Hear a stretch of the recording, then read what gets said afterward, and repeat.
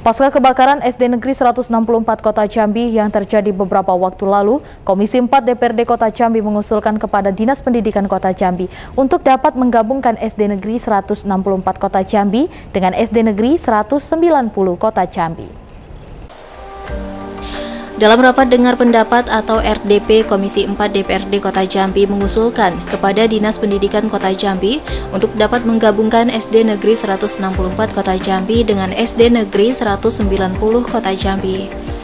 Ketua Komisi 4 DPRD Kota Jambi, Jeffrey Z menyampaikan bahwa pada RDP dengan Dinas Pendidikan Kota Jambi ini, Komisi 4 DPRD Kota Jambi mengusulkan untuk menggabungkan sekolah yang mengalami kebakaran beberapa waktu lalu, yaitu SD Negeri 164 Kota Jambi dan SD Negeri 190 Kota Jambi.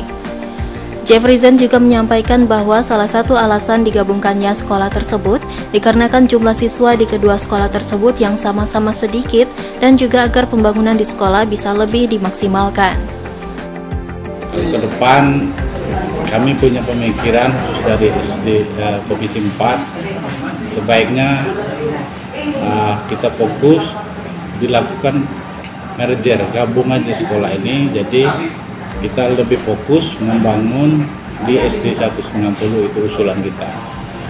Itu disambut baik oleh Dignas dan akan uh, ditindaklanjuti dengan uh, mungkin mengusulkan ke kepala daerah.